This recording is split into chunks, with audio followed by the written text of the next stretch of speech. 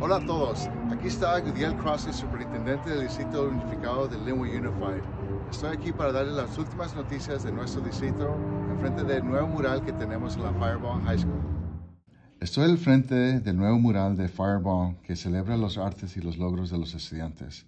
Fireball fue una de 15 escuelas preparatorias en Los Ángeles seleccionada por PepsiCo y Lifewater para recibir un nuevo mural. Nos honra tenerlo.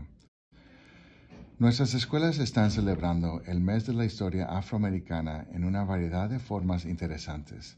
Recientemente celebramos nuestra cumbre anual de adolescentes afroamericanos donde los estudiantes de las preparatorias aprendieron sobre cómo iniciar sus propios negocios y su vida universitaria. Algunas de nuestras escuelas exhibieron museos afroamericanos que destacaron importantes figuras históricas, mientras que otras organizarán asambleas y eventos durante el mes donde continuarán apoyando a los pioneros afroamericanos.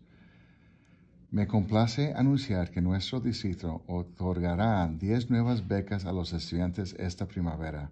Cinco estudiantes que buscan ejercer un título médico o de salud pública recibirán 5 mil dólares otros cinco estudiantes que asistirán al colegio recibirán mil dólares.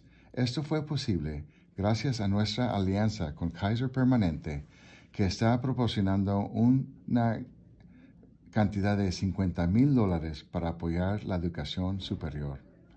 Recientemente completamos nuestra colaboración de los padres del distrito a través de nuestra serie de Pláticas con Café un programa de seis semanas que es facilitado por los padres y ayuda a las familias de Linwood Unified a apoyar a sus hijos para que tengan éxito en la escuela y más allá.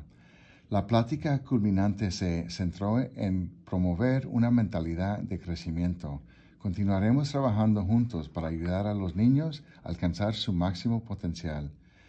Por último, quiero felicitar a nuestros 12 participantes de la competencia de, letreo de palabras quienes representaron a sus escuelas primarias en la competencia del distrito.